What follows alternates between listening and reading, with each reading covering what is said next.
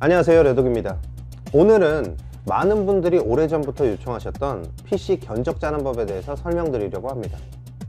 그럼 첫 번째로 뭘 해야 될까요? 첫 번째는 바로 여러분들이 사용하시려는 용도가 무엇인지를 정해야 되겠죠. 예를 들어 게임용이냐 사무용이냐 영상 편집용이냐 방송용이냐 등등. 이렇게 각자 사용하려는 용도가 다르기 때문에 우선은 사용하려는 용도가 뭔지를 정확하게 알아야 됩니다. 두 번째로는 PC 구매에 필요한 예산을 정하는 거예요. 내가 가지고 있는 예산이 50만원인지 100만원인지 예산을 정해야 그 예산에 알맞는 견적을 구성할 수 있겠죠. 예산을 잡으실 때 나는 무조건 50만원으로 살 거야. 난 100만원이 있으니까 이걸 무조건 다 써서 살 거야. 이렇게 금액을 딱 한정하기보다는 50에서 70 혹은 90에서 110 정도로 어느 정도 여유 구간을 두시는 게 좋습니다. 예산에 어느 정도로 여유를 두는 이유는 조립 PC 시장의 가격 변화 그리고 부품들 중에 5에서 10만원 차이로 인해 훨 좋은 성능을 보여주는 경우도 있기 때문입니다. 사용하려는 용도와 예산이 정해졌으니 본격적으로 견적을 내보도록 하겠습니다. 용도와 예산을 지금 화면과 같이 정했다고 합시다. 막상 견적을 내려고 하는데 컴퓨터를 잘 모르는 초보분들은 막막하실 거예요. 그래도 최근엔 유튜브가 커지면서 유튜브 검색에 70만원대 배틀그라운드라고 검색하시면 이렇게 부품 구성과 게임 플레이 영상을 올려놓은 유튜버들이 많으니 그대로 따라서 구매하시는 것도 하나의 방법이 될 수 있겠고요. 유튜버들의 추천 견적을 믿지 못하신다면 본인이 직접 견적 내는 방법을 택하시면 됩니다. 직접 견적을 내려고 해도 부품들에 대한 정보가 필요할 텐데요 이런 정보는 어디서 찾아야 될까요? 이미 많은 분들이 알고 계시는 것처럼 유튜브에 각 부품들을 검색하시면 부품들 간 성능 비교 영상이나 정보들을 많이 얻을 수 있고 국내 커뮤니티 중에서도 컴덕분들이 많이 활동하고 계신 쿨엔조이, 퀘이사존 등의 커뮤니티를 이용하시면 그다지 어렵지 않게 구할 수 있습니다 정보를 구할 수 있는 경로를 찾아냈으니 이제 본격적으로 견적을 내보죠 조립 PC 견적을 뽑을 수 있는 사이트가 단 행핑 등 여러 가지가 있는데요. 컴퓨터나 N 신제품 업데이트가 조금은 느린 편이고 행복 은 여러 가지 이유로 거르겠습니다. 신제품 업데이트가 가장 빠르며 여러분들이 가장 많이 이용하시는 다나와에서 견적을 내볼게요. 네이버 등의 검색창에 다나와를 검색하신 후 다나와에 들어갑니다. 사이트 상단 중앙에 위치한 PC 견적을 선택합니다. 그럼 지금 보시는 것처럼 새로운 화면이 나타날 텐데요. 여기서 우측 부분을 봐주세요. 맨 위부터 CPU, 메인보드, 메모리, 그래픽카드, SSD, 하드디스크, ODD, 케이스, 파워, 키보드, 마우스, 사운드 스피커, 모니터, 쿨러, 소프트웨어 순으로 나열되어 있는 게 보이실 거예요 컴퓨터를 잘 모르시는 분들은 여기 나열되어 있는 걸 모두 구매해야 되나? 라는 생각을 하실 테지만 집에 기존에 사용하시던 모니터, 키보드, 마우스, 스피커 등이 있어서 PC 본체만 구성하실 때는 CPU, 메인보드, 메모리, 그래픽카드, SSD 혹은 하드, 케이스, 파워 같은 PC 구동에 꼭 필요한 부품들만 선택하셔서 견적을 구성하시면 됩니다. ODD, 쿨러 등은 사용 환경에 따라서 옵션의 개념으로 추가하는 제품이며 PC 구동에 꼭 필요한 필수품은 아니에요. 게임용 PC를 구성할 때 가장 중요한 부품이 뭘까요? 바로 그래픽카드, CPU, 메모리, SSD입니다. 내가 준비해둔 예산의 대부분을 차지해야 되는 부품들이 바로 이 부품들이라는 거예요. 첫 번째로 CPU를 선택할 거예요. 앞서 말씀드린 대로 여러분들이 검색을 통해서 어느 정도 정보를 얻으셨다면 배틀그라운드라는 게임은 인텔 i5 혹은 AMD 라이젠 5 정도의 CPU를 사용하는 게 좋다 라는 건 아실 거예요. 저는 CPU를 i5 9400F로 선택하겠습니다. 두 번째로 메인보드를 선택하셔야 되는데요. 메인보드는 CPU와 호환을 타는 제품이기 때문에 CPU와 호환이 가능한 제품으로 선택하셔야지만 사용이 가능합니다 호환되는 메인보드를 선택하시려면 가장 먼저 선택하셨던 9400F의 CPU 정보에 들어갑니다. 맨 아래쪽으로 내리셔서 소켓 구분란에 인텔 소켓 1151 V2라고 표시되어 있는 이 부분을 확인합니다. 다시 메인보드를 선택하시고 왼쪽 CPU 소켓 항목을 선택하시면 소켓들이 여러 가지가 나오는데요. 이 중에 CPU에서 확인하셨던 인텔 소켓 1151 V2를 선택해 줍니다. 그럼 아래쪽 메인보드 리스트들이 모두 선택한 소켓의 제품들로 바뀌게 되며 이 메인보드들 중 어떤 제품을 선택하셔도 위에 선택한 9400F CPU와 호환이 되는 거예요.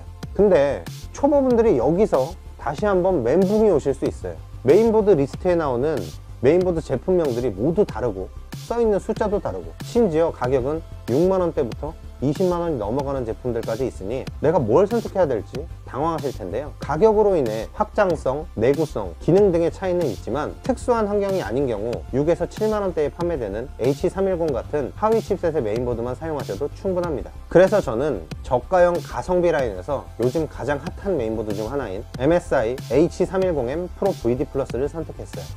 세 번째로 메모리를 선택할 거예요. 램은 단언하건대 삼성 램이 가장 무난하고 가장 많이들 사용하니까 고사양 PC를 구성하거나 특수한 환경이 아니라면 그냥 닥치고 삼성 램으로 선택하세요. 그럼 용량은 얼마나 해야 될까요? 개인적으로 16기가 정도는 하시는 걸 권해드리고 싶어요. 만약 램을 16기가로 구성하실 경우 16기가 한 개를 선택하시기보다는 8기가짜리 두 개를 선택하셔서 듀얼 채널로 사용하시는 게 대역폭을 넓게 쓸 수 있어서 아주 조금이라도 더 좋은 성능을 보여줍니다. 지금까지 CPU, 메인보드, 램 이렇게 총 세가지의 부품을 선택했는데 약 34만원 정도의 가격이 나왔네요. 처음 예산을 60에서 80으로 잡았으니 아직 우리에겐 26에서 46만원의 여유가 있습니다.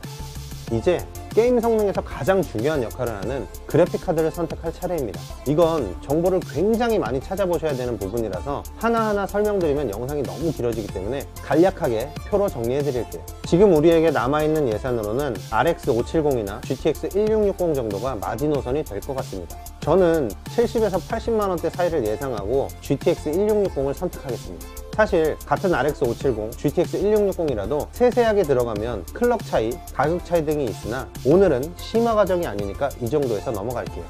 이미 우리가 생각하고 있던 미니멈 예산인 60만원은 넘어섰네요. 이제 컴퓨터의 저장 공간인 SSD와 하드를 선택할 차례입니다. SSD와 하드를 간단하게 비교해드리면 두 제품이 하는 역할은 같지만 하드에 비해 SSD의 속도가 약 4배에서 5배 정도 빠르다고 보시면 됩니다. 우리는 예산의 한계로 SSD와 하드를 둘 다 선택할 수 없으니 SSD만 250기가로 선택하겠습니다. 삼성, 마이크론과 함께 3대 SSD 제조사 중의 하나인 웨스턴 디지털의 250기가 3D 블루 SSD를 선택했습니다. 아래에 있는 ODD는 흔히들 알고 계시는 CD-ROM 혹은 DVD-ROM인데요. 요즘은 사용하시는 분들이 많지도 않고 우리가 사용하는 용도에는 필요 없는 옵션이니 그냥 넘어가도록 하겠습니다. 이제 케이스 선택의 순간입니다. 외형을 신경 쓰시는 분들은 의외로 많은 투자를 하는 부분이 바로 이 케이스입니다. 케이스를 선택하실 때는 메인보드, 그래픽카드 등과 호환을 꼭 확인하셔야 되는데 일반적으로 미들타워 규격의 케이스는 대부분 호환이 되니까 미들타워 제품으로 선택해 주시면 됩니다 저는 요즘 가장 핫한 케이스 중 하나인 앱코의 새턴을 선택했습니다. 이제 컴퓨터의 심장이라고 할 수 있는 파워를 선택할 차례입니다. 파워를 선택하실 때는 내 PC에 구성된 부품들의 최대 소비 전력량을 보시고 그에 적합한 제품을 선택하셔야 하는데요. PC 소비 전력 계산기 등을 이용해서 하셔도 되고 그래픽카드 정보에 나오는 권장 파워 용량과 비슷하거나 50에서 100W 정도 높은 제품을 선택하셔도 됩니다. 가장 중요한 부분 집중하세요. 파워는 크게 미정격 파워와 정격 파워로 나뉘는데요. 미정격 파워는 제품명이나 제원에는 500W라고 써있는데 실제로는 500W에 한참 못 미치는 성능을 가지고 있는 일명 뻥 파워를 얘기하고요. 정격 파워는 제원에 500W라고 써있으면 실제로도 500W의 출력을 내주는 파워를 얘기합니다. 정격 파워 중에서도 80 플러스 인증을 받은 제품들이 많은데요. 효율에 따라서 스탠다드, 브론즈, 실버, 골드, 플래티넘, 티타늄 등으로 올라가며 개인적으로 80 플러스 스탠다드 이상의 인증을 받은 제품을 선택하시는 걸 추천드려요. 우리가 지금 구성하는 견적은 정격 500W면 충분한 구성이기 때문에 파워를 선택하시고 왼쪽 전격 출력을 500에서 599W로 선택하신 후 아래 인증사항을 80 플러스 스탠다드로 설정하면 아래 파워 리스트들이 정리가 되는데요. 이 중에서 두 번째로 저렴한 맥스 엘리트 맥스웰 게이밍 프로 제품을 선택했습니다. 뭐 천원 더 저렴한 쿨러마스터 제품이 있지만 쿨러마스터 제품은 파워 케이블이 알록달록 노랑이라서 블랙 케이블로 깔끔하게 선정리가 가능한 맥스웰 게이밍 프로를 선택했습니다. 이제 총 합계 금액을 보면 약 74만원 정도의 금액이 나왔어요. 그럼 우리가 구성한 PC의 게임 성능이 도대체 어느 정도 되는지 한번 봐야겠죠? 배그가 잘 돌아가니까 당연히 배그보다 사양이 낮은 오버워치나 롤 같은 게임도 잘 돌아가겠죠? 못 믿겠다고요? 그럼 바로 보여드리죠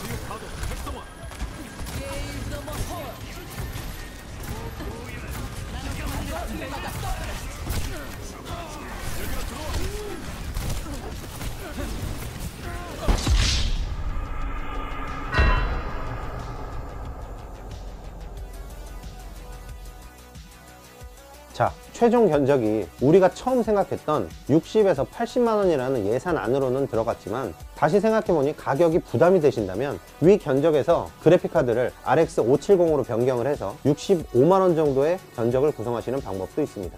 이런 식으로 그때그때 상황에 맞게 유동적으로 PC 구성을 변경할 수 있다는 게 조립 PC만의 매력이겠죠? 오늘 저희가 준비한 영상은 여기까지고요. 영상이 마음에 드셨다면 구독과 좋아요, 알림 설정 잊지 마세요. 여러분들이 커말못에서 벗어나는 그날까지 함께 할게요. 안녕.